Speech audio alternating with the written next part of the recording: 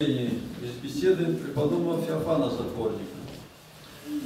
Вступающий на путь христианской жизни, еще слабый, больной, неустроенный, должен уже обладать великой силой и крепостью, иначе падет под, под готовую ему тяжестью скорбей и подвигов.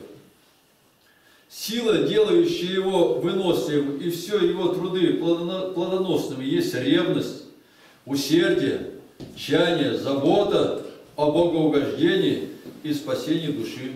Как ищущий верного сокровища не смотрит на трудности, не задерживается и не устрашается препятствиями, так и христианин, когда имеет ревность, искание все одолеет и пройдет безбедно все пути. Искание все доставляет.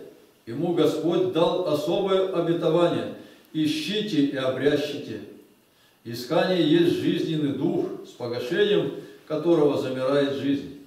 Это огонь, принесенный Спасителем на землю. Это его свет и жизнь. Вот чем запастись должно, вступая в делание заповедей и ощущения страстей. Без того нельзя и начать этого дела в истинном духе. А если и начнет кто, то будет трудиться без плода, вяло, из-под воль, это праздное делание. Много людей есть проходящих подвиги и делания, но без плода.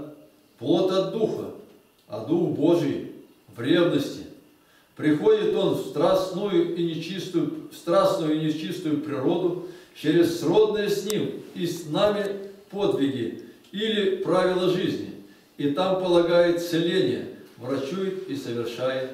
Следовательно, подвиг делание – проводник благодати и путь или нить, приводящая дух ревности.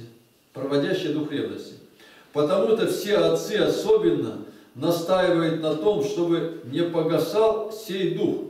Святой Исаак, сириянин, называет его псом лающим и заповедует непрестанно раздражать его.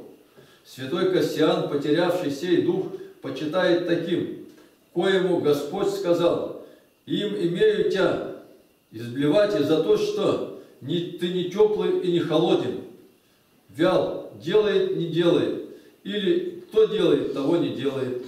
Макарий Великий говорит, ищи и толки, в этом начало этой, этой дверью входите.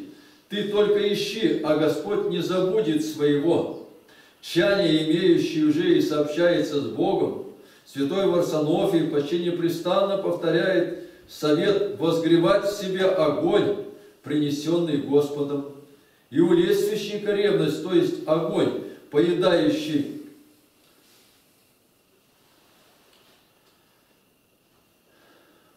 хворостие, хворост, то есть поедающий, то основание доброе, надежное и безопасное. Потому-то он заповедует спешить восстанавливать ее, когда случится погубить каким-нибудь образом. Иным думается, что лучше заменить ревность твердостью произволения или воли, опасаясь от ревности опрометчивости. Но твердость воли опасна. Она близка к расчетливому рассудку, холодному равнодушию и действованию эгоистическому. В мире она идет в христианской жизни опасно. Опасна и ревность, если ее оставить одну. Но кто оградил ее послушанием или отречением от своей воли и разума и связал правилами, тому нечего бояться, только ревнуй. Ревность, правда, предполагает быстроту действования, но не опрометчивость и необдуманность. Она означает «иди, не мешкай, не стой, гони с усердием, но гони по указанному и определенному пути под надзором. Все строение этой ревности можно выразить так. Ищи в надежде, без определения и непрестанно начиная. Это мысль святого Макария Великого, которую он почти непрестанно повторял. Очевидно, что недостаток чего-нибудь из входящего сюда или портит ревность, или расслабляет. Впереди много труда, много опасностей, иди. Будет плод, земледелец трудится в поте и ест хлеб.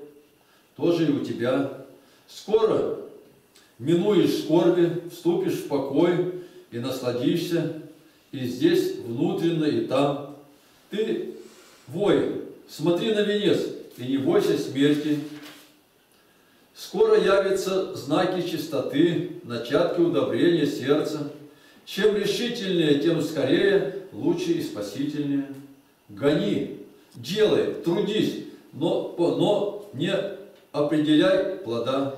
Плод есть дар Божий ради труда, а дать дар воле деятеля, то есть Бога. Потому что, потому, чтобы ты не сделал, не говори, достиг или достигну. А если достигну, корабельник три четверти пути проплывет и все еще не доплыл, и не может сказать, доплывет ли. Так и ты никогда не считай себя достигшим, а только ищущим. Умолению страстей не, не верь, на крепость своих добродетелей не полагайся. Все может погибнуть в один раз. Не назад смотри, а вперед. Все, что имеешь, Господь дал. В Его же власти и взять обратно. Потому ничего не должно считать верным, а взывать только «Господи, спаси меня». Ими же веси судьбами спаси меня.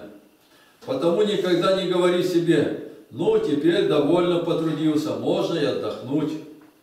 Такая льготность послабления – первый враг. Помысл будто бы и малый, и слабый, но он самый коварный изменник. Он отворяет врата врагам. Кто примет его, тот падет. Святыми отцами он замечен, и всякому начинающему непрестанно внушается, смотри, не говори, уже довольно, можно и послабить, а говори, зачем ты здесь? Или что ж ты мне ничего не делаешь? Что ж ты ничего не делаешь? Или обращайся к Богу, молись, чтобы Он помог тебе положить начало спасению и непрестанно начинай.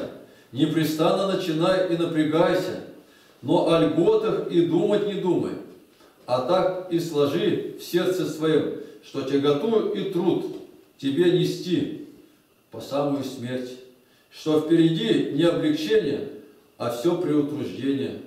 Вот истинное строение духа, ревнующее, безопасное, прочное, не дающее ни ослабы, ни необузданной горячности, на самонадеянности, ни самонадеянности, ни самомнения. Епископ Феофан Затворник.